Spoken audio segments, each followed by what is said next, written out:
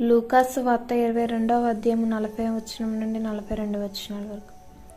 మీరు శోధనలో ప్రవేశించకుండానట్లు ప్రార్థన చేయడం చెప్పి వారి యొద్ద నుండి రాతివేత దూరము వెళ్ళి ప్రార్థించను. ఈ దినాలలో వార్త వార్త ప్రతి పత్రికల నిండా వచ్చే వార్తలు ఆత్మీయముగాను మానసికముగాను భౌతికముగాను నైతికముగాను దిగజార్చి ఆరోగ్యానికి మనస్సుకు కీడు కలిగించేవిగా ఉన్నాయి. ఇదిగో ఇక్కడ హత్య జరిగింది. అక్కడ హత్య జరిగింది. ఇక్కడ భూకంపములు పదివేల మంది చనిపోయారనే వార్తలతోనే పత్రికలు నింపబడుతున్నాయి. సరే గాని ఆ వార్తల వలన కదిలించబడి మనము కనికరము చూపేవారముగా ఉంటే అది అద్భుతకరమైన విషయమే. కానీ ఈ సంగతులు మనల్ని ఎంత తక్కువగా ప్రభావితం చేస్తున్నాయి? ఆ వార్త చదవగానే అయ్యో పాపం. అలా జరిగిందా? అని అంటాము. వెంటనే అంతయు మర్చిపోతాము. భూకంపాల వలన వేల కొలది ప్రజలు చనిపోతున్న మనమేమి పట్టించుకోవడం లేదు. ప్రభు ఆత్మ నీలో పనిచేస్తూ ఉంటే నీ ఆలోచనలు సరియైనవిగాను ప్రేమతో కూడినవిగాను నిర్మించేవిగాను ఉంటాయి. నీ తలంపులు ఎల్లప్పుడూ నేనెవరిని నిర్మించాలి? నేనెవరికి సహాయం చేయాలి? నేనెవరిని లేవనెత్తాలి అనేవిగా ఉంటాయి.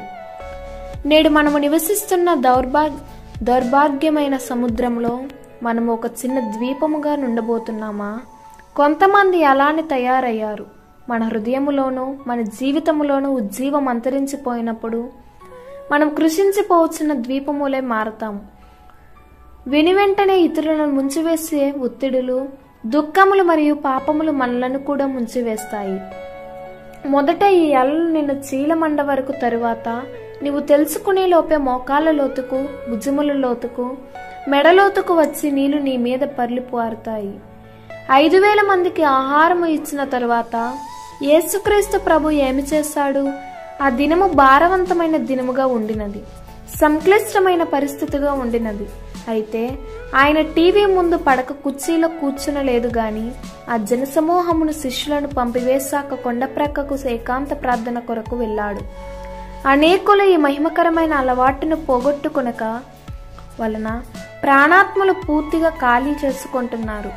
ఇంకా ఖాళీ అవ్వాలని లేక అనేక వ్యతిరేక విషయాలతో నింపబడాలని నీవు కోరుకుంటున్నావా? ఖాళీ అయినా నీ హృదయాన్ని సరియైన దేవుని తలంపులతో నింపుకోవడానికి ఏకాంత ప్రార్థనలో గడుపుము. దేవుడి వాక్యం దీవించునుగా